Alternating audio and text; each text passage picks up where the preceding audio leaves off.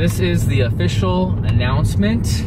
We are back in contest prep mode. It's been since 2013 since I've been in contest prep. So it's been a very long off season, but most people, if you're familiar with natural bodybuilding, it's all about just time and patience. And so a lot of people have asked why I've taken so long away from competing and the stage and all that stuff. And I've always said it's just it just takes time. It takes so much time to put muscle on naturally, and it's a totally different ball game when you go from uh, an amateur level type natural show compared to a pro lineup. Anybody who's been to like a um, a natural pro show will be the first uh, to tell you that it's like a whole different level, and especially just muscularity, how much more muscle these guys have. And so I just wanted to take a few years off to make sure that when I was ready to compete again, I at least hopefully have enough muscle now to be able to be competitive in a pro lineup. So the other big announcement to this is I'm hiring a very, very, very popular uh, prep coach in the natural bodybuilding uh, arena. Most people um, in the natural area or arena, whatever, are familiar with him. His name is Cliff Wilson, Team Wilson. Uh, and the reason why I'm going this route is just because I feel like over the past few years, I've really kind of followed Cliff. I've listened to like a lot of his uh, podcasts that he's done, and I just felt like listening to him. I just really felt like everything kind of clicked with his whole philosophy on nutrition and training. And another thing that's really appealing to me is he does, some of you guys might be familiar with this, some might not but he does a very different kind of peaking style that I've done before. He does a, it's like a rapid uh, carb backload, which is a totally different approach to peak or peak week that I've ever done. So I just kind of want to just try something new and see if maybe this is something that I might respond better to.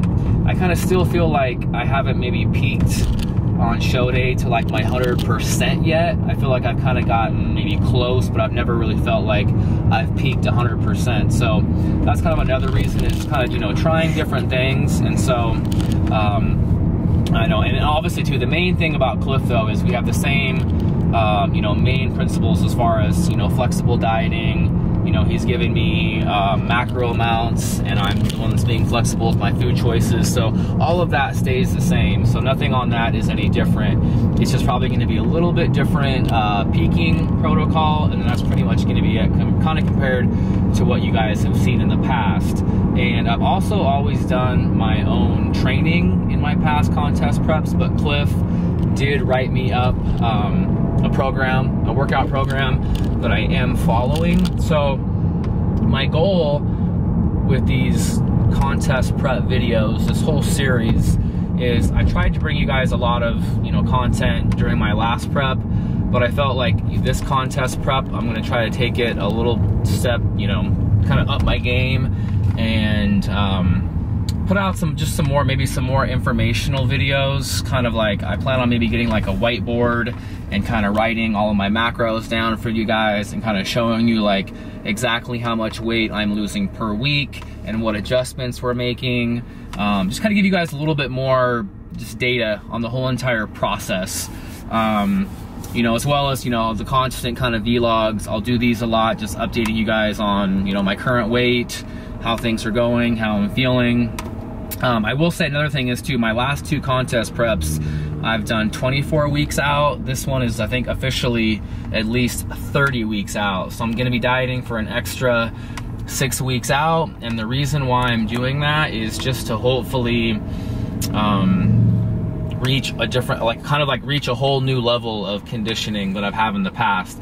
I've always felt like my last show, especially like, you know, that was really, that was good enough to get, you know, a natural pro card, but it's like now, like in a pro show, you know, everybody's gonna come in really, really, you know, really, really shredded. So I need to kind of go above and beyond and try to reach maybe a, you know a new level of conditioning that I've never seen before.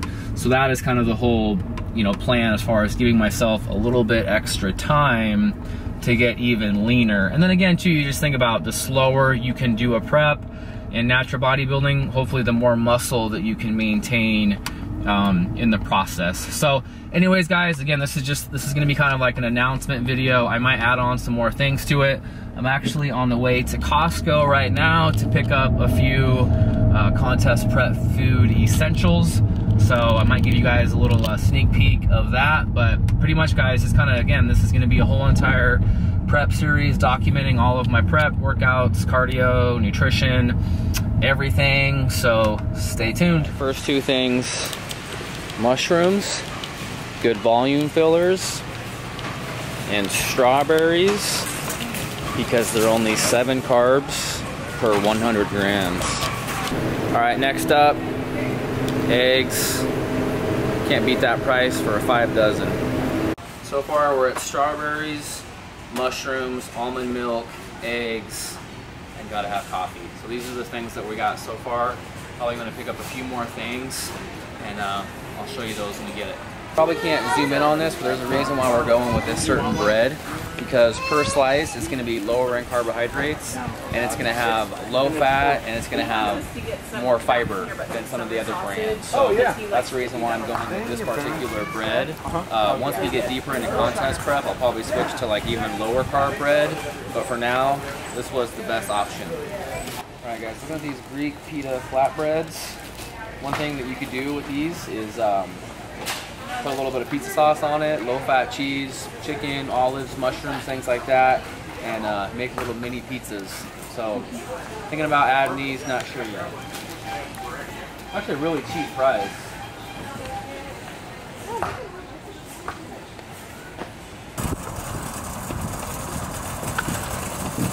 Again, this was just kind of a small run at Costco.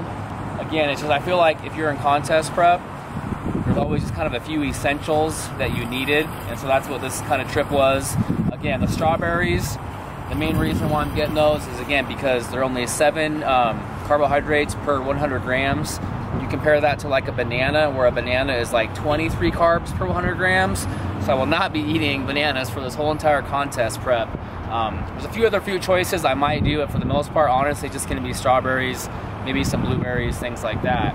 Um, the almond milk, honestly, it's the best thing that you can do for like cereals, you know, protein shakes, stuff like that, because it's only literally, I think it's two and a half fat, one carb, you know, 30, 30 calories per cup. So basically you're not using any macros on the almond milk. And then again, eggs, irreplaceable. Um, usually every morning I have a couple whole eggs, a couple egg whites, and the mushrooms are just gonna be another great, another great filler to add in like, you know, uh, if you want to do pastas, if you want to do um, salads, things like that. And then the bread, again, the reason why I chose that bread was again just because if you look at per slice, I take into account the fat per slice, how many carbs per slice, how much fiber, how much protein, and then in the end, I get the cost too. So um, that's why I chose like that bread. So there's a reasoning behind every single food choice that I chose today. So just a little bit of educational information if you're dieting. There's always certain foods that you can switch out for other foods that are more, I call, um, you know, macro friendly if you're dieting. Can you clean this? Did you really get it? Um. I'm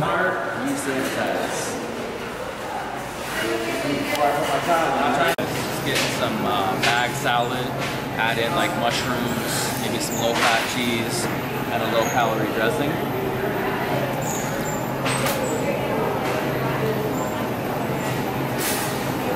Now you, oh, there it is. You have it on? It's good? Alright guys. Not yet. Arctic Zero will be coming soon, but not yet macros are not lower enough yet for Arctic Zero.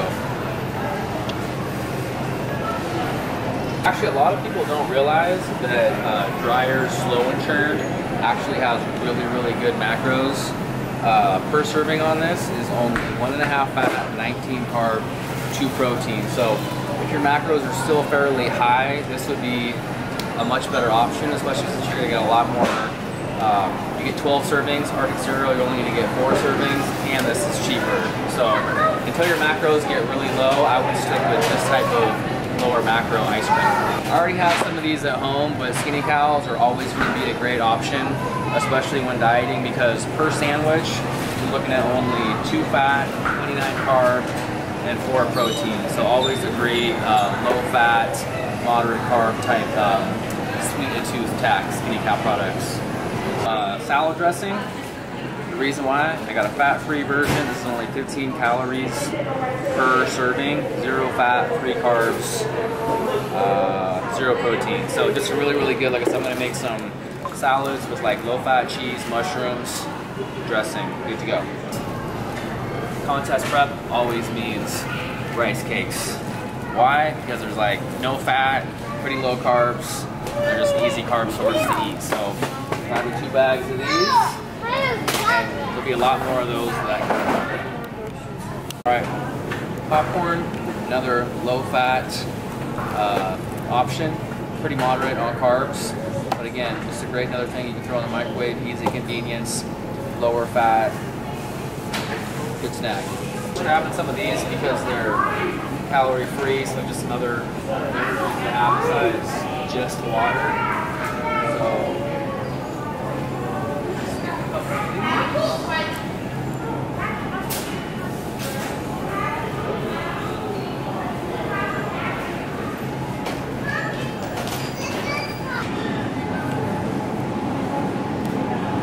Alright guys, just picking up some Greek yogurts. These are uh, zero fat, only 9 carbs, and 12 protein uh, per container. So uh, I got the pumpkin pie one, I love pumpkin pie, and I got the toasted coconut vanilla. These are both like really, really good flavors. So get some of these.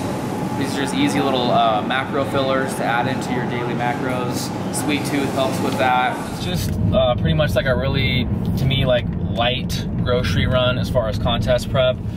I'd already had um, like chicken breast and I have whey protein already. I have, I stocked up on more yogurt. Um, I had stocked up on Skinny Cows, um, diet soda. Um, so that wasn't kind of like a full contest prep grocery run, but I kind of want to show you guys just some of the essential type things that you're probably gonna see almost consistently. You know, those are foods and things like that that I'm pretty much gonna get week in, week out, and go through a lot of during the course of this contest prep. Um, so just give a little heads up on that. Um, also, too, like I said, I'm, I'm planning on getting. Uh, I want to get like a whiteboard, and I want to kind of show you guys again, kind of like what my macros are week to week. And as of right now, I'm starting at with Cliff, Um, 275 protein, 410 carbohydrates, and 70 fat are my starting macros right now. And then I also have a weekly refeed of, I believe it's 240, my protein drops down a little bit to I think 240. My carbs go up to 570 grams, and my fat is 72 grams. So I'll have one weekly refeed too with a lot more carbohydrate, well, not a lot more, but a good amount more of carbohydrates. So those are days where I can probably be a little bit more uh, flexible with certain uh, food choices and things like that. But one thing I wanna, I kinda wanna stress with the whole flexible dieting thing, I feel like if you're a serious competitor and you're utilizing flexible dieting, you're gonna see a lot more kind of just your basic uh, chicken and rice type, you know, your typical kind of bodybuilding whole food type meals. That really is going to consist of a good, you know, 80 to 90% of my meals just because, again, there's so much more healthier, nutritious, you know, dense, you're going to feel fuller longer type meals. So if you're in a contest prep, you want to think about your performance and how you're going to have the most energy, you're going to feel the best, and honestly, you're gonna feel the best eating more healthier, nutritious foods. So that's why you're gonna see me eating more of that. Whereas a lot of people though, still to this day, when they think about flexible dieting or if it fits your macros, all they wanna say is it's an excuse to eat junk. So I kinda wanna show you that this is not like, you know, eating junk all the time. Yes, you're gonna see me probably fill in, you know, some certain ice cream, you know, lower fat ice creams and things like that but for the most part, it's gonna be your basic eggs and chicken and potatoes and rice and all that stuff. So I just kind of wanted to finish this little clip on that note.